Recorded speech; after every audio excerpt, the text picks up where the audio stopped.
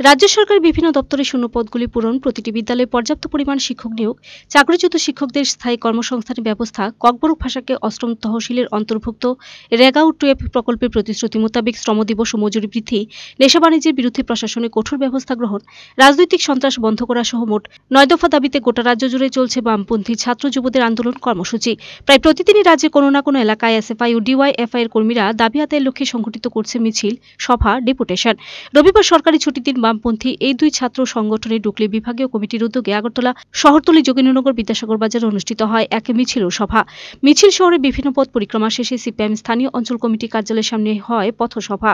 এই আন্দোলন কর্মসূচি নেতৃত্ব দেন ডিওয়াইএফআই রাজ্য সম্পাদক নবারণ দেব। যুবনেতা শ্রীদেব ছাত্র যুবদের দাবিগুলি জনসম্মুখে তুলে ধরে রাজ্য সরকারের কাজকর্মের তীব্র সমালোচনা করে বক্তব্য রাখেন। বিদ্যালয়ে শিক্ষক নিয়োগ করা ব্যাপক শিক্ষকের সংকট। কাজের যে সরকারি দপ্তরে নিয়োগ বন্ধ সেই নিয়োগ সেখানে চালু করা জায়গায় দুর্নীতি টুয়েপের দুর্নীতি বন্ধ করা সরকার বিভিন্ন দপ্তরে ব্যাপক দুর্নীতি হচ্ছে। এই যে দাবিগুলো নিয়ে ডেট উত্তীর্ণ বেকার রাস্তায় বসে আছেন নার্সিং কলেজের পাস করা ছেলেমেয়েরা রাস্তায় বসে আছে তাদের কাছে আমরা চাইছি তাদের যে নিয়োগ তাদের দ্রুত নিয়োগ করা।